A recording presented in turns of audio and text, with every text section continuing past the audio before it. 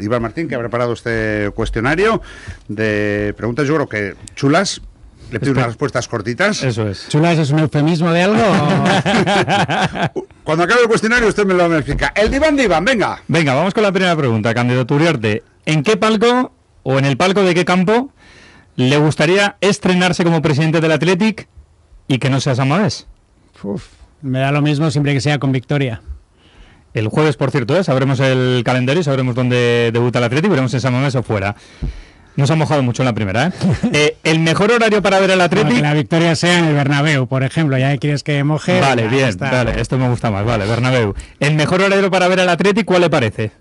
A mí me gusta los sábados eh, a las 8, por ejemplo, o si no los domingos, ya no hay el horario de las 5 que me encantaba, sino pues la entre las 4 y las 6 y media. ¿Esto de los horarios se va a poder hacer algo? ¿Va a poder Bueno, usted hacer nosotros algo? lo que queremos es mejorar la relación que hay con la, con la liga. Eh, para eso tenemos dos personas de la plancha que, que viven en Madrid. Eh, nosotros pensábamos que el hecho de, de formar una plancha no teníamos que ser todos de Bilbao, sino que hay grandes profesionales, socias y socios de Athletic que viven en otros lugares. Eh, estuvimos a punto de, de- de contar con alguna persona incluso de Barcelona, miramos Estados Unidos, fuera bromas, y finalmente contamos con, con dos personas que están muy conectadas en, en- en la ciudad de Madrid y pensamos que eso puede ser muy positivo para, pues, para mejorar las relaciones allí. ¿Qué extranjero o extranjera le gustaría que fuera Vasco Vasca? Eh, alguien que meta muchos goles. Vale. No hay nombre, ¿no? No te sale ningún nombre, vale. Bueno, depende. Eh, Pues me gustaría, por ejemplo, alguien que sea que meta muchos goles y que sea joven. Eh, podría ser Mbappé. Mbappé de rigor. Haaland no, que se lesiona mucho. Vale, ¿le gusta que la Supercopa se juegue en Arabia Saudí? Hombre, no es lo ideal, eh, pero lo que menos me gusta de la Supercopa es que el reparto de, dinero eh, no, se, no siga una meritocracia. Eso me parece que es muy justo respecto a los, a los equipos como nosotros y que lo que hace es perpetuar el modelo de unos arriba y otros que estamos por debajo. Eso es lo que es injusto. En cuanto a dónde se celebra, el problema que existe es que hay países que pagan unas cantidades ingentes de dinero porque, porque se celebre allí eh, y nosotros nos acabamos beneficiando de, pues, de ese dinero. Yo por mí estaría mucho más cómodo pues, que, eh, teniendo la Supercopa en San Mamés o en un campo cercano y con todos los eh, aficionados de Athletic pudiendo, pudiendo asistir al, al evento. Pero tenemos que entender también que, bueno, que el fútbol hoy en día, desgraciadamente el fútbol moderno, como lo llaman, pues tiene estas cosas. Y si queremos contar con ingresos para pagar a los mejores profesionales, los mejores entrenadores, los mejores futbolistas, pues a veces hay que captar el dinero de, de otros sitios. Entonces, respondiendo ya a la pregunta, idealmente prefiero que sea aquí y con esa cantidad de dinero. Si no lo es y es en Arabia, pues por lo menos que nos paguen por nuestro rendimiento. Va a tener usted buena pelea, ¿eh? Si, si llega el caso. Por eso tenemos gente haciendo lobby en Madrid. Vale. Eh, si no es el Athletic, Real Madrid, Barcelona, Real Sociedad, ¿quién le gustaría que ganara la liga? La verdad es que me, me da lo mismo. Eh, yo me centro en, en nuestro club. Estaba cantado. Eh, ¿Con qué jugador de la historia del Athletic se queda y por qué? A ver si es original. A mí hay muchos que, que me han marcado, es lo que comento. El primer ídolo que recuerdo era fue Alcorta, Rafael Corta. Me encantaba sus eh, salidas con el balón en los pies, con esa, con esa agresividad, pero también con, con elegancia. Y me encantó que, pues, que se fuera de Athletic y se fuera a regañadientes, incluso que llorara alguien como él. Bueno, Eso me, me impresionó. Y luego alguien que, que, que me dio esperanzas, pero luego me di de bruces también con la realidad, fue, fue Josu Rutia. Era la misma Icastola que yo. Cuando debutó en el primer equipo yo estaba, era, era un enano, tenía creo que unos 10 años o así. Y al final alguien de tu Icastola que juega en el Athletic, pues siempre te sirve de, de inspiración. Pero quizás el mayor ídolo, pues bueno, yo por la edad que tengo lo he sufrido, fue, fue Julen Guerrero. Eso pues afectó mucho a los de mi generación.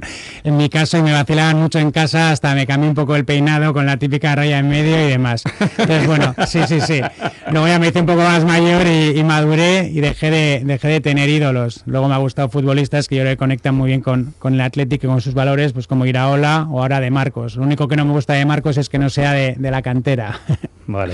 Eh, ¿Con qué número y con qué nombre jugaría en caso de ser usted jugador del Athletic? Pues eh, antes jugaba cuando había números fijos, pues con un 8, con un 9 o con un 10 y desde, bueno, yo sigo jugando, pero a fútbol 7 en, en- en un torneo de, de fracasados, Pero bueno, jugamos con gente bastante joven, ¿eh? Hay chavales de veintipico años y demás y seguimos dando guerra.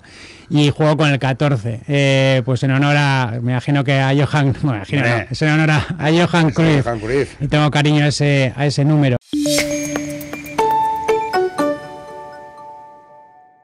No sé, O igual un eh, segundo apellido. Me imagino que pondrían Uriarte, pero bueno, me gusta también el apellido de mi mamá, ¿eh? ¿De quién se acordará primero si gana las elecciones de este viernes? De toda la gente que, que me ha apoyado y del equipo que, que viene conmigo en esta, en esta aventura. Quedan tres, ¿eh? Dígame un campo de fútbol de Vizcaya, que no sea Samamés. Govela.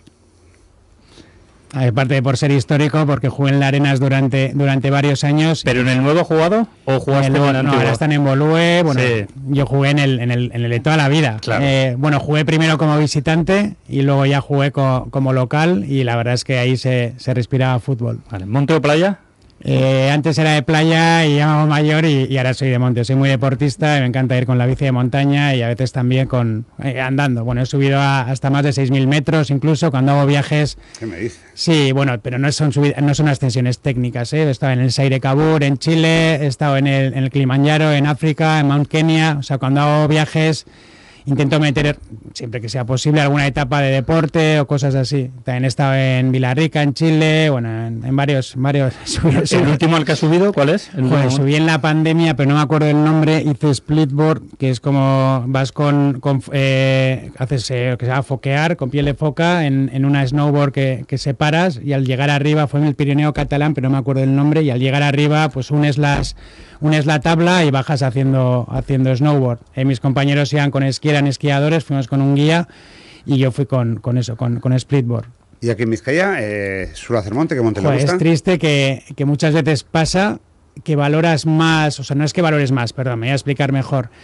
Que a veces haces cosas eh, cuando vas fuera que no haces cuando estás en casa. Eh, y las, las ascensiones que he hecho aquí en casa son muy, muy pocas. Eh, el Pagasarri muchísimo, eh, es la que voy generalmente cuando, pues cuando quiero hacer algo rápido de deporte y sobre todo mucho en, en bici de montaña.